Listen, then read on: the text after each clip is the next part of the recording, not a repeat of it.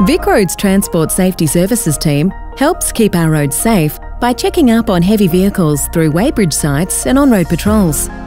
They also support Victoria Police to enforce road safety for light vehicles.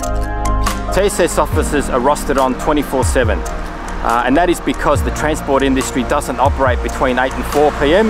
It operates 24-7 as well, so we need to be around at the same time that they're operating. With road safety operations running year round and extra effort around high traffic periods, the TSS team are a vital part of keeping our roads safe for everyone. We're out there to make sure that the trucking industry, as well as any other industry out there, is working towards zero, working towards zero deaths on the road. To find out more about heavy vehicle safety, visit the VicRoads website.